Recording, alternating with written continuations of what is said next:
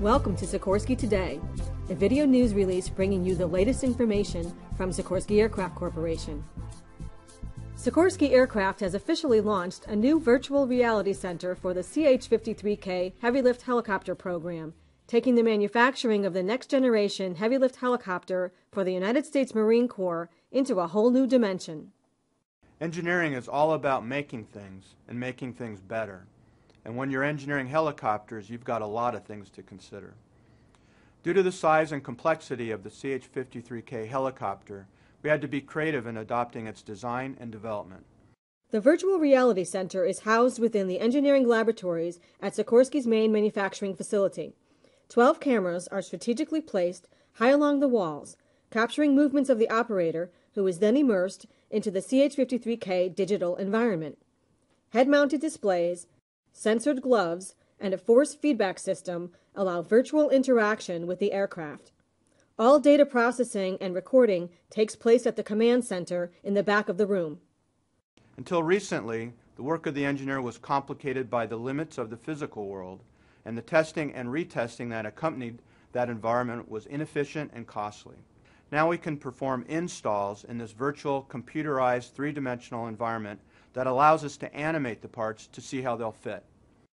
All of this innovative technology comes together in what Sikorsky deems to be perhaps the most complex aircraft development it has ever undertaken. Sikorsky is building the CH 53K heavy lift helicopter under a $3 billion system development and demonstration contract with the United States Marine Corps. The heavy lift mission is critical. It calls for an aircraft that can stand up to the daily punishment of temperature extremes, high structural loads, and harsh conditions that are associated with shipboard and austere location operations.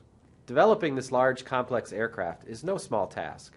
The use of a virtual reality center offers tremendous efficiencies, saving time and money in identifying design gaps long before the real components are ever assembled. We're building a helicopter that will have more than 20,000 individually designed parts, all of which have been modeled in a fully 3D digital environment. Using the aircraft components the designers create with CATIA software, they can now determine whether the parts can be assembled within the required manufacturing clearances that are revealed by a color coding process. We have already yielded design benefits from the new software.